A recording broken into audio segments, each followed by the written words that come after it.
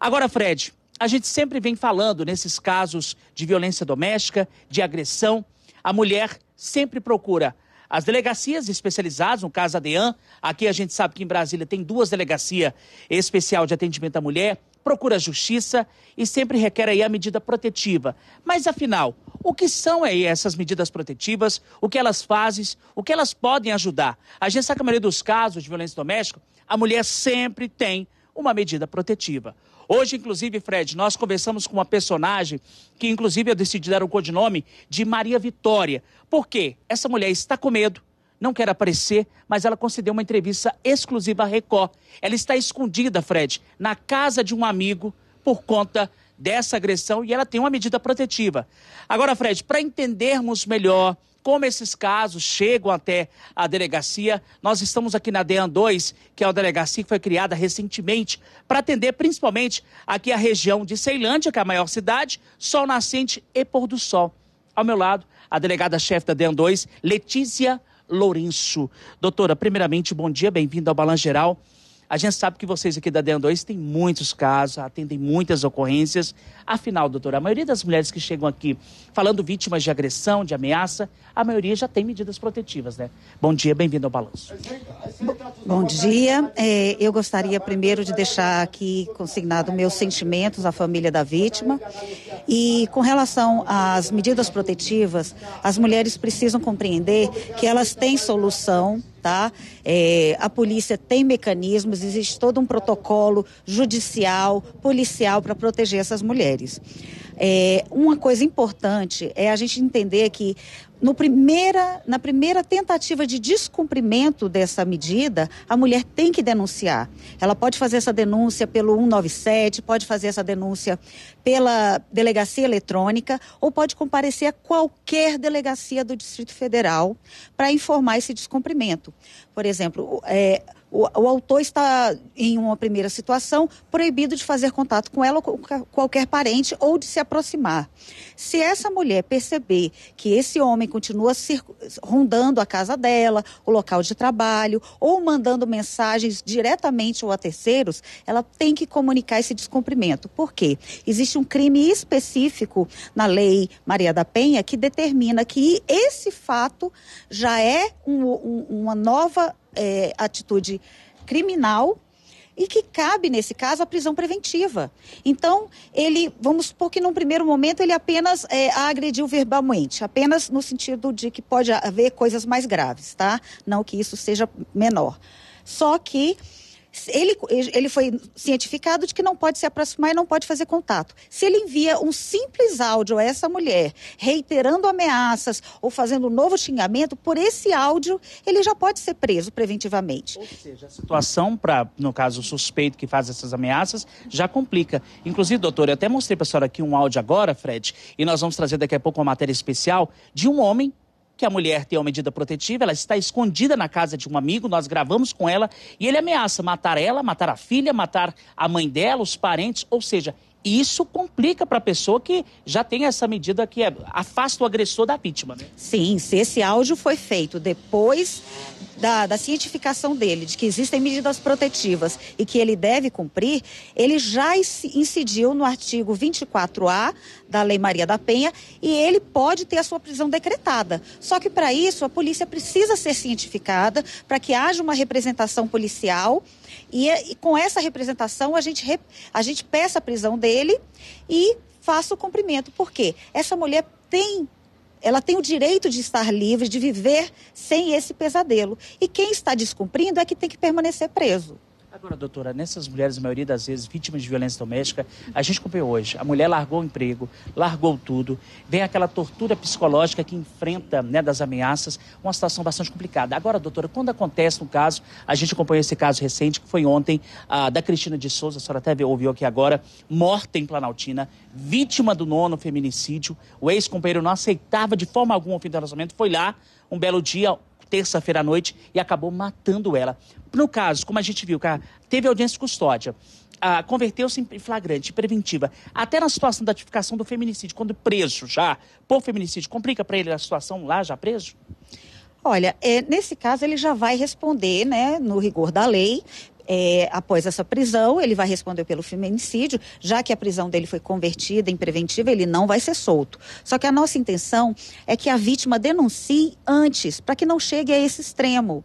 Então, se ela puder nos informar, informar qualquer delegacia, nós vamos providenciar. E, e com relação à própria segurança da vítima, se ela entende que esse autor é capaz de pular o muro da casa dela, de realmente cumprir, se ele já vem numa escalada de violência, né?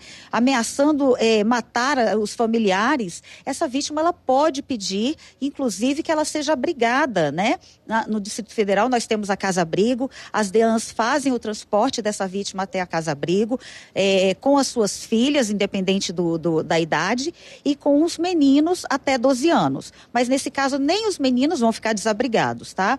Tem toda uma situação em que essa mulher ela tem esse direito à proteção e a polícia e todo o sistema, o ordenamento, ele cuida dessa mulher. Então, se ela sentir que realmente está em risco, ela tem que procurar a polícia para que a gente faça esses encaminhamentos. Meu parceiro Fred, a gente sabe que todo dia a gente tem esse bate-bola, você no estúdio aqui na rua. Alguma pergunta a fazer para a delegada-chefe aqui da DEA 2, Letícia Lourenço?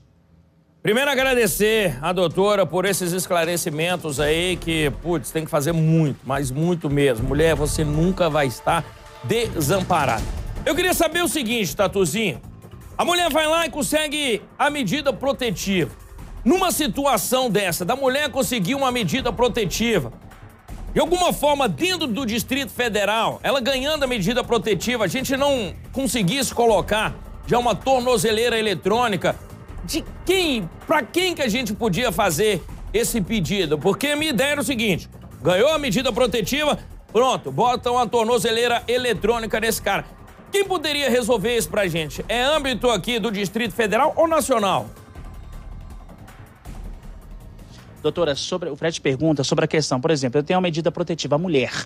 E aí o, o, o suspeito continua ameaçando, uh, continua procurando. A gente acompanhou um caso recente aqui agora, que a gente estava até ao vivo aqui conversando com a vítima, que o rapaz ele foi solto da audiência de custódia e foi novamente ameaçar a mulher.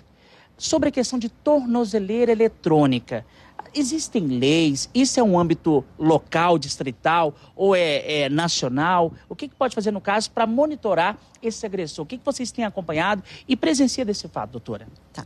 O, sobre o monitoramento eletrônico, é uma, é, é, ele é colocado após uma decisão judicial. Então, por exemplo, é, as medidas protetivas, elas também são impostas é, numa, numa cadeia né, de gravidade. Né? Se ele xingou, ele vai ser afastado, ele vai ser proibido de entrar em contato. Se ele tomou uma atitude mais drástica, né, um crime mais grave, o juiz pode determinar esse monitoramento e inclusive em, em, razão desses descumprimentos, né? Pode ser a prisão preventiva, tanto quanto pode ser também esse monitoramento. E é, só que isso parte de uma decisão judicial. A gente pode até solicitar, né, na, nas nossas medidas protetivas, que essa seja uma das medidas tomadas, mas é só o juiz que pode decidir. E a partir daí existe todo um sistema, né? De fiscalização que verifica onde é que essa pessoa está, se ele está entrando naquela região em que ele é proibido de acessar, né? E isso, é, ele pode inclusive ser preso em flagrante caso ele esteja descumprindo é, essa, essa imposição. Doutora, a gente sabe que são nove mulheres mortas este ano. A gente sabe que Ceilândia é a maior região do DF. E, inclusive, aqui, apesar das nove mulheres mortas, sentimentos a todas os familiares, aqui diminuiu-se muito na região de Ceilândia, Só Nascente e Pôr do Sol. Eu estava apurando hoje, conversando com o Tribunal de Justiça DF, só no DF de 2022 até agora, janeiro, mais de 14 mil medidas protetivas. Automaticamente, essas medidas, elas ajudam a reduzir para que casos de feminicídio diminuam aqui na capital? Sim, isso é verdade. É, é, uma, é um número que normalmente não é divulgado. Então, na verdade, infelizmente, nós perdemos nove mulheres, mas houve essa, essa medida protetiva para é, dezenas de milhares de outras mulheres, né? E essas mulheres estão protegidas, né? Qualquer coisa que fuja dessa, dessa dessa proteção, que ela se sinta é, ainda ameaçada, ela pode retornar a uma delegacia, né? Então, a, a, a medida protetiva, ela costuma abarcar tudo né? Ela protege essa mulher do início ao fim. Então, também é uma situação que a gente precisa que a mulher entenda que ela também tem que colaborar, né? Denunciando tá? E em casos de emergência, ligar para o 190, que é da Polícia Militar, porque é, é o mecanismo mais rápido para salvar essa mulher em uma situação urgente.